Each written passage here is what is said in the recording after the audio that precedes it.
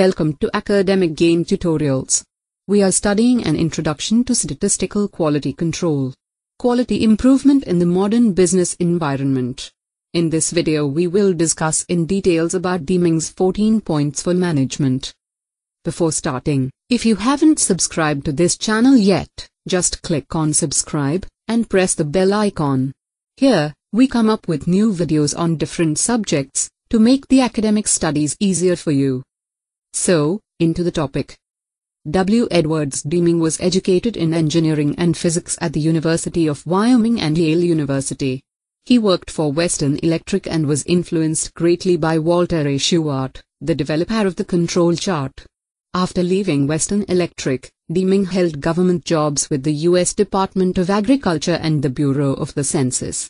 During World War II, Deming worked for the War Department and the Census Bureau.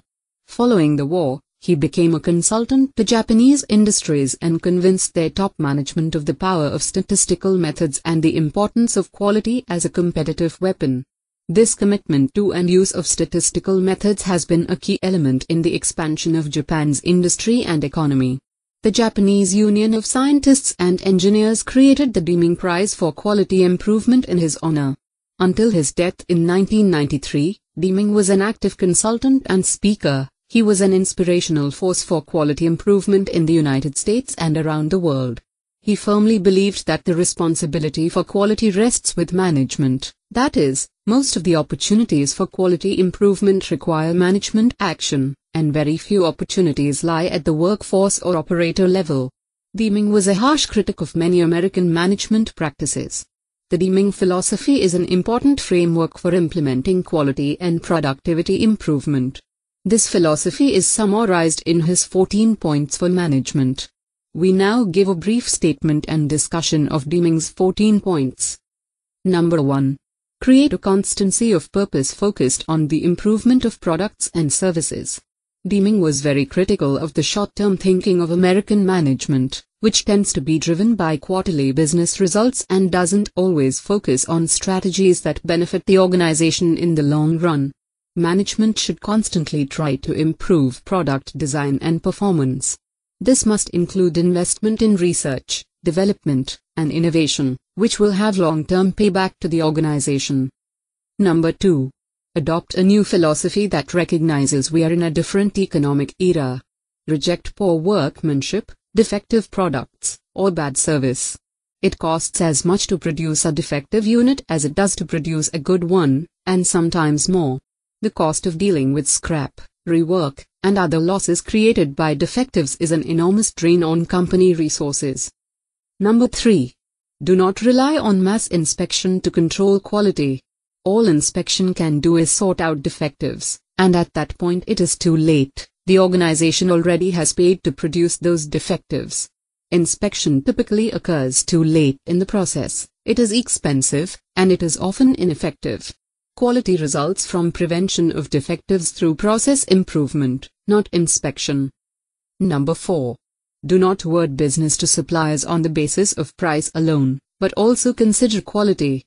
Price is a meaningful measure of a supplier's product only if it is considered in relation to a measure of quality. In other words, the total cost of the item must be considered, not just the purchase price. When quality is considered, the lowest bidder frequently is not the low-cost supplier. Preference should be given to suppliers who use modern methods of quality improvement in their business and who can demonstrate process control and capability. An adversarial relationship with suppliers is harmful. It is important to build effective, long-term relationships. Number 5. Focus on continuous improvement. Constantly try to improve the production and service system. Involve the workforce in these activities and make use of statistical methods, particularly the statistically based problem-solving tools discussed in this course. Number 6. Practice modern training methods and invest in on-the-job training for all employees. Everyone should be trained in the technical aspects of their job, and in modern quality and productivity improvement methods as well. The training should encourage all employees to practice these methods every day. Too often, employees are not encouraged to use the results of training, and management often believes employees do not need training or already should be able to practice the methods. Many organizations devote little or no effort to training. Number 7.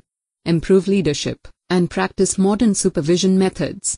Supervision should not consist merely of passive surveillance of workers but should be focused on helping the employees improve the system in which they work.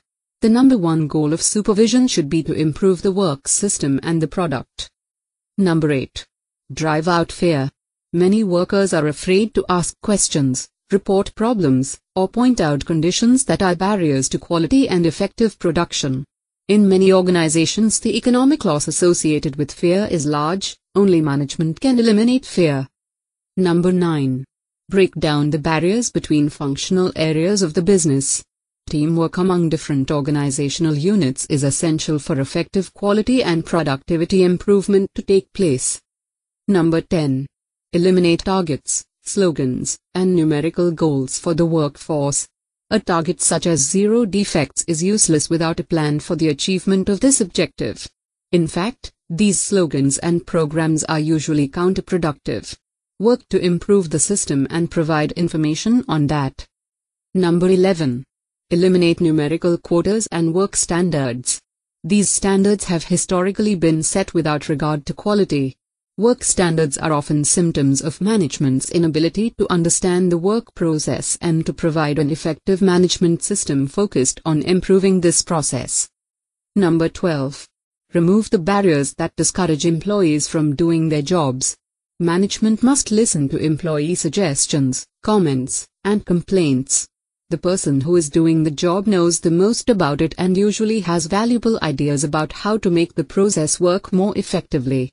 The workforce is an important participant in the business, and not just an opponent in collective bargaining. Number 13.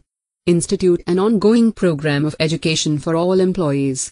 Education in simple, powerful statistical techniques should be mandatory for all employees. Use of the basic SPC problem-solving tools, particularly the control chart, should become widespread in the business. As these charts become widespread and as employees understand their uses, they will be more likely to look for the causes of poor quality and to identify process improvements. Education is a way of making everyone partners in the quality improvement process. Number 14. Create a structure in top management that will vigorously advocate the first 13 points. This structure must be driven from the very top of the organization. It must also include concurrent education, training activities and expedite application of the training to achieve improved business results. Everyone in the organization must know that continuous improvement is a common goal.